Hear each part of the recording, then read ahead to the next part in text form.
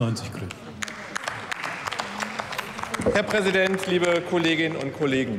Hartz IV schützt nicht vor Armut. Wir haben in Deutschland acht Millionen Menschen, die Grundsicherungsleistungen beziehen.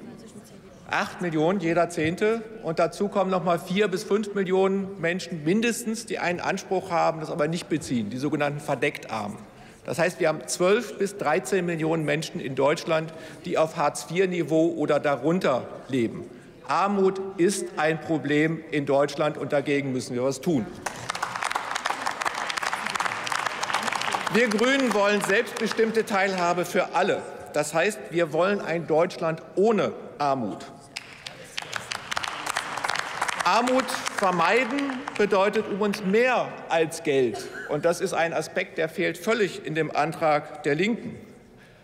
Wir brauchen Zugang zu Arbeit. Wir brauchen einen sozialen Arbeitsmarkt als Teil eines inklusiven Arbeitsmarktes. Wir brauchen inklusive Bildung. Wir brauchen gute Gesundheitsversorgung für alle. Und zunehmend haben Menschen keine Wohnung in Deutschland. Ich finde es unerträglich, dass in Deutschland 50.000 Menschen auf der Straße leben müssen. Ein reiches Land wie Deutschland sollte es möglich machen, dass niemand auf der Straße leben muss. Aber zur gesellschaftlichen Teilhabe gehört in einer Marktwirtschaft auch Geld. Deswegen müssen wir zusehen, dass das soziokulturelle Existenzminimum für alle staatlich garantiert wird. Denn das ist ein Grundrecht und ein Menschenrecht. Das fängt bei der Grundsicherung an. Die Linke tönt immer, Hartz IV muss weg. Aber dann kommt in dem Antrag nur mehr Geld und Abschaffung der Sanktionen. Das reicht nicht. Um nicht missverstanden zu werden, der Regelsatz muss erhöht werden, und auch wir wollen die Sanktionen abschaffen. Wir haben just heute einen Antrag dazu eingebracht, in dem wir fordern, die Hartz-IV-Sanktionen abzuschaffen. Aber es braucht noch mehr. Die Grundsicherung muss vereinfacht und barrierefreier werden. Wir brauchen mehr Rechte für die Arbeitslosen, damit es eine Vermittlung auf Augenhöhe gibt. Wir brauchen einen sozialen Arbeitsmarkt und vieles mehr. Trotzdem, Grundsicherung zu reformieren reicht nicht. Denn bedürftigkeitsgeprüfte Systeme sind aus mehreren Gründen immer problematisch. Wir haben immer verdeckte Armut, weil es Leute gibt, die die nicht in Anspruch nehmen. Es ist fast immer mit Stigmatisierung verbunden. Und der Kollege Kober hat das eben schon angesprochen. Durch die Anrechnung von Einkommen lohnt sich mehr Arbeit häufig nicht. Das liegt aber in dem System. Das kann man in dem System kaum verändern. Deswegen ist eine Verbesserung der Grundsicherung notwendig, aber sie führt in ein Dilemma, weil dann noch mehr Menschen Grundsicherung beziehen. Deswegen kann das alleine nicht die Lösung sein.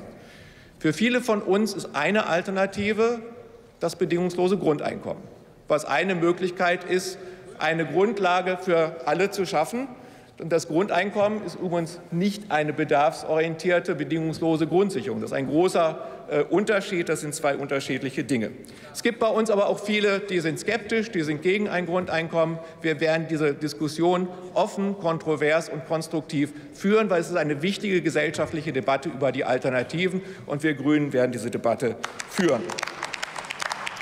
Aber wir sind zumindest dafür, Leistungen für einzelne Gruppen zu schaffen, die das Existenzminimum ohne Bedürftigkeitsprüfung garantieren. Die Garantierente, die eine echte, nicht bedürftigkeitsgeprüfte Rente ist, nicht so eine verkappte Sozialhilfe wie bei den Linken, oder die Kindergrundsicherung, die das Existenzminimum für alle Kinder sicherstellt. Solche Maßnahmen braucht es, um zu verhindern, dass die Menschen gar nicht erst in Hartz IV absinken.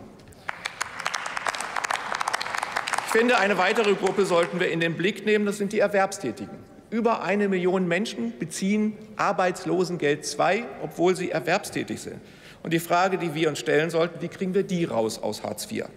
Der Mindestlohn sollte so hoch sein, dass keine Aufstockung notwendig ist. Das ist im Moment nicht in allen Fällen der Fall. Deswegen muss der Mindestlohn steigen.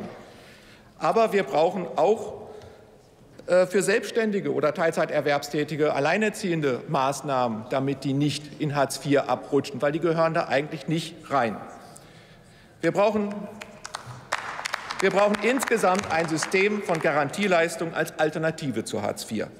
Von einer besseren Grundsicherung über die Kindergrundsicherung bis zur Garantierente. Das ist unsere Alternative. Deutschland ist ein reiches Land, aber der Reichtum kommt nicht bei allen an. Wir sollten endlich mit dem Ausstieg aus der Armut beginnen. Armut, nein, danke. Vielen Dank. Ich erteile das Wort dem Kollegen Frank Heinrich von der CDU-CSU-Fraktion.